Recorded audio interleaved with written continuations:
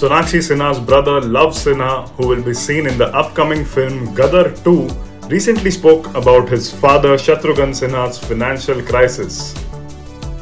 In an interview with a YouTube channel, Luv recalled a few memories and reportedly said, There were times when he had to choose either traveling by bus for his meetings or saving the money for food. Sometimes he would eat and walk miles, and sometimes to save time, he would let go of food. He talks about the time when he doubted himself and thought if it was the right decision to leave Patna and move to Mumbai for his dreams and ambitions.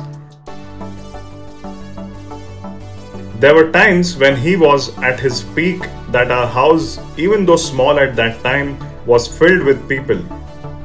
And then, when his films were not working, no one would be around. I have seen both the rise and fall closely. In the same interview, Luv Sinha also spoke about the on and off friendship between Amitabh Bachchan and Shatrughan Sinha. He stated that competition was bound to happen when you have two outstanding actors. However, there was nothing personal between them and eventually they got back together.